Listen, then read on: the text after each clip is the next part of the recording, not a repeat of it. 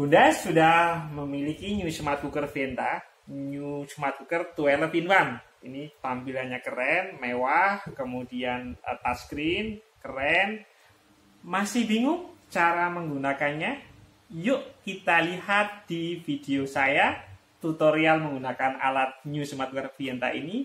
Bunda bisa klik link di deskripsi untuk masing-masing fungsi karena setiap video saya hanya membuat satu fungsi saja.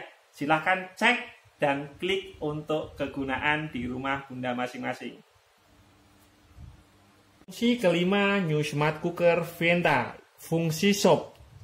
Caranya adalah sentuh menu 5 kali, 1, 2, 3, 4, 5. Fungsi shop ini itu kita atur satu setengah jam. Kalau saya pribadi biasanya untuk sop daging dan sebagainya kita atur satu jam untuk ngepukin, langkah terakhir kemudian to start seperti ini.